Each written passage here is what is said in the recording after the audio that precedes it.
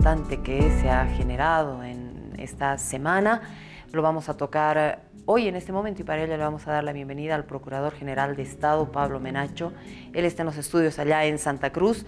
Eh, le damos la bienvenida, Procurador, qué gusto que esté con nosotros para hablar sobre un tema por demás importante para nuestro país, para Bolivia. Se trata de una audiencia. Se ha iniciado el lunes 20 hasta el 23. Es eh, un tema de la Glencore, una demanda de una empresa que le ha interpuesto a Bolivia ante la CCI para empezar, eh, procurador, y para darle a la gente un contexto de todo lo que está sucediendo, hablemos un poco sobre aquella época, sobre la etapa de privatización en nuestro país y de qué manera ex autoridades, ex presidentes se fueron beneficiando de esta época de la privatización. Viene en ese contexto, procurador, yo le dejo a, a usted para que le explique a la gente eh, en qué se basa todo este tema de la audiencia que eh, Bolivia ha estado eh, siguiendo durante esta semana. Bienvenido al Pueblo es Noticia. Muchísimas gracias, Ivonne. En primer lugar, un gran saludo a ti y a través tuyo a todas las personas que en este momento nos están viendo. evidentemente, acabamos de concluir de manera exitosa la audiencia que se ha llevado adelante entre el 20 y el 24 eh, de este mes de mayo en la ciudad de París, en instalaciones de la Cámara de Comercio Internacional, con relación al caso Glencore. Este es un caso eh, abusivo iniciado contra el Estado boliviano y abusivo por al menos un par de razones. En primer lugar, porque eh, Glencore el año, hacia fines del año 2004, principios del año 2005, adquirió eh, los tres activos que están en litigio, que están en disputa el día de hoy, de manos del expresidente Gonzalo Sánchez de Lozada. Eh, ¿Qué pasaba con el expresidente Gonzalo Sánchez de Lozada en ese momento? Bueno, pues eh, en octubre, el 17 de octubre del año 2003, eh, Sánchez de Lozada había salido huyendo de Bolivia luego de la masacre de Octubre Negro, dejando al menos 64 personas fallecidas y más de 400 heridos. En octubre del año siguiente, del año 2004, el entonces Congreso Nacional autoriza el inicio de un juicio de responsabilidades de eh, Gonzalo Sánchez de Lozada y en ese momento empieza Glencore adquirir estos bienes, Glencore que, que, no era nueva en Bolivia, que no estaba llegando recién, Glencore tiene eh, relaciones de negocios eh, en Bolivia y particularmente con la empresa Consur, con Gonzalo Sánchez de Lozada, al menos desde la década de los años 70, entonces compró esta empresa eh, suiza, esta transnacional suiza, compra estos bienes que, sobre los cuales sabía que en algún momento iba a recaer algún tipo de de, litigio, algún tipo de controversia, eh, porque habían sido bienes que eh, eh, tenían, digamos, ese, esa, historia de, de, la forma en que habían sido adquiridos.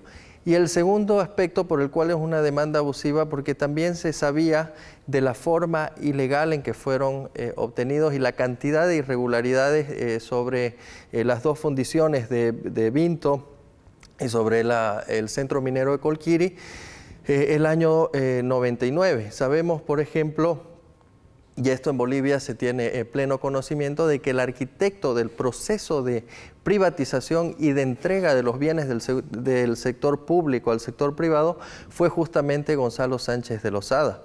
Durante el primer mandato de Sánchez de Lozada, entre el año 93 al año 97 se hicieron todos los estudios eh, respecto de eh, las fundiciones eh, de, estaño y de antimonio de Vinto y del centro minero de Colquiri para que pudiesen haber sido capitalizados durante ese periodo. Es decir, Sánchez de Lozada contaba con toda esta información sobre lo que tenía y lo que valía lo que valían estos activos y se los termina adjudicando hacia fines del año 99 la fundición de antimonio y el centro minero de Colquiri y el año 2002 eh, se adjudica, se compra eh, la fundición de, antimonio, la fundición de estaño eh, en Londres en una luego de que hubo problemas con, la empresa Allied Deals, a quien inicialmente se lo, se vendió esta empresa. En ese sentido, esto hace que, a sabiendas de que iba a haber un problema futuro, de que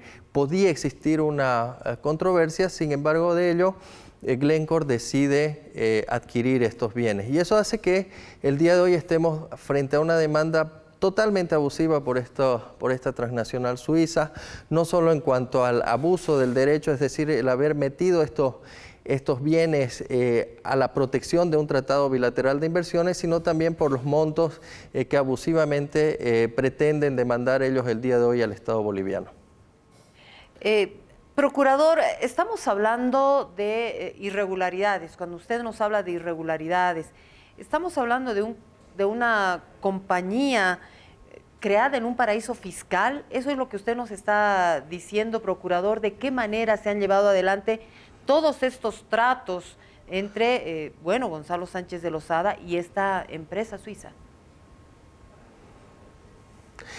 En cuanto al proceso de privatización mismo, por ejemplo, eh, se ha identificado el hecho de que eh, estos contratos de venta de los, de los activos de las fundiciones de antimonio y de estaño no hubiesen sido enviados, por ejemplo, o del arrendamiento de la mina Colquiri, no hubiesen sido enviados en su momento al Congreso Nacional para su aprobación. Ese es un el primer elemento básico, toda vez que la Constitución de 1967 y sus reformas establecían que el Congreso Nacional en ese momento era quien aprobaba eh, los contratos relativos a recursos, a la disposición de recursos naturales eh, del Estado boliviano. Ese es un primer elemento.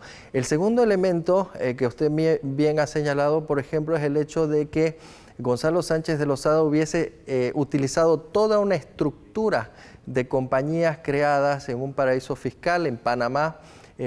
nosotros en la investigación que hemos hecho hemos encontrado al menos 11 empresas creadas allí que han sido vinculadas a Gonzalo Sánchez de Lozada. Para Gonzalo Sánchez de Lozada esto no era un tema nuevo que él lo hubiese estado aprendiendo. La primera empresa que crea, eh, que era Iris Mines and Metals, a través de la cual eh, tenía la propiedad de Comsur, por ejemplo, la crea en la década de los años 60. Entonces, esto es lo que esta empresa suiza compra, son las eh, empresas panameñas de la estructura eh, de empresas a través de las cuales Gonzalo Sánchez de Lozada era dueño de Comsur en Bolivia. Entonces hay toda una serie de elementos que el Estado boliviano ha presentado, ha puesto en conocimiento del Tribunal Arbitral, no solamente durante esta audiencia, sino a través de todos los escritos que hemos venido presentando. A los escritos se han acompañado al menos 350 documentos probatorios, además de eh, los testimonios de las personas que han vivido los, episodios, particularmente el grave conflicto social eh, que se vivió a mediados del año 2012 en el centro minero de Colquiri eh, por la irresponsabilidad, por la negligencia de la empresa en ese momento ya denominada Sinchihuayra que era eh, lo, que antes se denominaba Comsur. Procurador, eh, ¿qué es lo que demanda esta empresa, la Glencore Finance? ¿Qué es lo que demanda a Bolivia? ¿Qué es lo que quiere? Y por otro lado, eh, hubo una mala administración de la empresa. Usted hablaba eh, allá en la audiencia también de un tema de reivindicaciones, porque hubo una vulneración de los derechos de los trabajadores, no solamente de los cooperativistas, de los asalariados también. ¿Cómo va ese tema? Para empezar, ¿qué es lo que quiere la Glencore Finance? Lo que han hecho al haber adquirido estos... Em, estos bienes por parte de una empresa extranjera es, en primer lugar, eh, meter los bienes a la protección de los tratados bilaterales de inversión. Recordemos que durante todo el periodo neoliberal, entre el año 1987 hasta el año 2002, el Estado boliviano adquirió una serie de compromisos a nivel internacional de eh, proteger la inversión extranjera y de que cuando surja una controversia entre Bolivia y un inversionista extranjero, estas controversias se iban a dilucidar ante un tribunal internacional, que es justamente lo que está pasando ahora. Lo que han hecho es eh, incorporar bienes sobre los cuales conocían se podía tener algún tipo de controversia en algún momento, meterlos al ámbito de eh, protección eh, de, em, de estos tratados internacionales. La verdadera eh, quien realmente compró estos activos fue la empresa suiza eh, Glencore International AG. Sin embargo, a objeto de mejorar la protección, los transfirió luego a un holding que tenía esta empresa, que es la demandante en este caso, eh, Glencore Finance Bermuda, que eh, está, eh, es, creada en el, en el, territorio de Bermuda, un territorio de ultramar de Gran Bretaña y por lo tanto demandan a Bolivia bajo un tratado británico, siendo que la empresa es una empresa suiza. Entonces hay toda una serie de elementos aquí que el Estado boliviano ha hecho conocer eh, durante eh, estos días, ha presentado sus argumentos, ha presentado una serie de pruebas eh, para hacer conocer este abuso de derechos. Ellos lo que están reclamando puntualmente es una compensación eh, por estos tres activos que ellos sostienen Bolivia nacionalizó de, manera indebida. Ahí también Bolivia ha hecho conocer eh, todas las irregularidades, ilegalidades desde el proceso de privatización, incluyendo la adquisición por, parte de la empresa suiza los ha puesto en conocimiento em, del tribunal arbitral, señalando el abuso que está haciendo esta empresa eh, indebido, ilegal, bajo el derecho internacional. Procurador, eh, ¿qué es lo que sigue más adelante? Usted nos decía que desde el 20 hasta el 24, eh, en la que Bolivia participa a la cabeza suya en esta audiencia de jurisdicción y fondo en este arbitraje internacional, Bolivia tuvo una defensa muy solvente ante la CCI. ¿Qué es lo que viene eh, a continuación en este caso? Este caso, eh, a solicitud de Bolivia y dadas las eh, graves irregularidades que hemos eh, presentado desde el inicio, el Tribunal Arbitral aceptó dividirlo en dos fases. La primera fase, que es la que hemos discutido hasta ahora, que es la de los hechos, de cómo se dan, cuáles son los momentos que dan lugar a la reversión de estos activos. Em, a la, responsabilidad y, em, y, luego en una segunda fase se van a conocer ya los reclamos, las demandas eh, de compensación en caso de que el tribunal arbitral eh, decida de que es competente y tiene jurisdicción sobre el caso. Entonces, eh, lo que se espera ahora es una decisión del tribunal arbitral que tomará seguramente entre 12 y 18 meses, que es lo común en este tipo de arbitraje, dada la complejidad que tienen los casos, dada la cantidad de información que se pone en conocimiento de eh, los árbitros. En ese sentido, ahora lo que viene y esperamos con mucha confianza es una decisión eh, por parte del tribunal arbitral. Procurador, algo que eh, no me quedó muy claro, cuando hablamos de vulneración de derechos de los trabajadores mineros, ¿a qué nos estamos refiriendo? ¿Y cuál es la posición de ellos ahora tras, tras, este, tras esta audiencia? Sí, justamente ellos han presentado un caso como si Bolivia eh, de manera irracional, eh, sin ningún fundamento, sin ningún justificativo, haya eh, hecho que Comibol reasuma la dirección y el control de la mina de Colquiri o hubiese revertido, por ejemplo, la, fundición de antimonio, la fundición de, de estaño de vinto. El Estado boliviano ha demostrado con documentación, con mucha certeza, por ejemplo, la forma irregular en la adquisición de eh, la fundición de Vinto Estaño el año 2002 em, eh, en Londres, cuando existían litigios respecto de esta fundición, el hecho de que eh, hasta el año 2010 la fundición de antimonio prácticamente no haya funcionado, es decir, era, era prácticamente chatarra, la tenían en el total abandono, no, no era una empresa que no producía absolutamente nada de eh, antimonio. Y con relación al centro minero de Colquiri,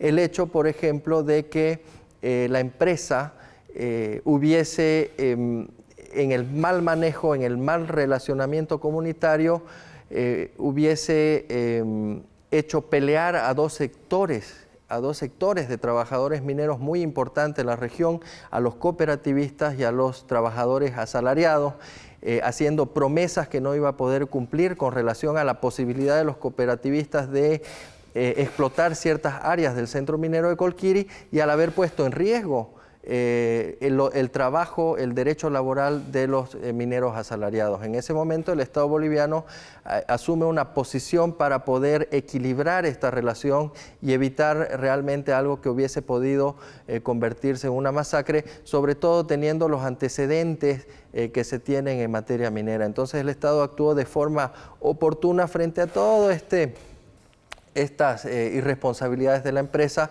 eh, y finalmente se logró eh, con mucho trabajo, con mucho esfuerzo a través de eh, la participación de varias instituciones, pacificar la zona. ¿no? En ese momento había un conflicto social sumamente grave creado por la, empresa Sinchihuayra y esto es lo que nosotros hemos puesto en conocimiento del tribunal. Procurador, ya para finalizar la entrevista y el programa en sí, cómo va nuestro país en ese tema de los procesos, más que todo que eh, se generan a raíz de la nacionalización, de ese manejo que se dio en la capitalización, la privatización y posteriormente la nacionalización de, nuestros recursos naturales, de las empresas estratégicas y demás. ¿Cómo vamos en ese tema? A nivel general, le digo. Sí, eh, creo que el día de hoy el proceso de nacionalización está consolidado, no existe absolutamente ningún riesgo. Eh, Bolivia ha logrado resolver de manera amistosa eh, todos los casos relativos al proceso de nacionalización. Eh, se han concluido con, los, con, las controversias y el día de hoy es un proceso definitivamente saneado, completamente libre, se podría decir, y lo que tenemos el día de hoy son las empresas que ya están a manos del Estado, que están produciendo, que están generando eh, recursos a favor de todos los bolivianos, que están pagando impuestos, que están llevando adelante eh, un desarrollo industrial sostenido para beneficio de eh, Bolivia. Eso, eso por un lado. además, el día de hoy tenemos al menos cuatro litigios eh, sobre casos que nada tienen que ver con el proceso de la, nacionalización. Recordemos que la nacionalización estuvo enfocada eh, principalmente en las áreas de hidrocarburos, de telecomunicaciones, em, electricidad, eh, aeropuertos. En ese sentido, el día de hoy Bolivia sostiene casos de carácter minero, como es el caso Glencore, por ejemplo, eh, el caso Orlandini, que es un caso de ciertas controversias que datan de finales de los años 90. Em, hemos eh, concluido y hemos tenido éxito eh, una de las eh, grandes victorias que ha tenido un país a nivel internacional es justamente la que tuvo Bolivia en el caso South American Silver, donde ganamos el caso. Recordemos, ahí teníamos una demanda de 385 millones de dólares en contra de Bolivia, que se termina eh, resolviendo a favor del Estado boliviano, donde se determina una compensación de 18 millones, menos del 5% del monto demandado. Em, hemos sacado a Bolivia del caso Jindal, entonces em, realmente eh, creemos que el día de hoy eh, estos litigios están eh, defendidos de la mejor manera por parte de, la Procuraduría, con los abogados internacionales con los que trabajamos y son los casos que, que tenemos a la fecha. Procurador, gracias por estar con nosotros en El Pueblo es Noticia, ponernos un contexto de lo que está sucediendo en este tema, de, este, de, esta, de la audiencia que ha sostenido nuestro país en la CCI, en este arbitraje internacional de eh, inversiones iniciado por la Glencore Finance contra Bolivia. Estaremos al tanto de lo que sucede. Usted nos dice que hay que esperar un tiempo para las determinaciones. Estaremos en constante contacto seguramente con usted. Muchas gracias por estar con nosotros. Muchísimas gracias, Ivonne, y un gran saludo. Muy bien, el procurador de Estado Pablo Menacho con nosotros en el Pueblo es Noticia.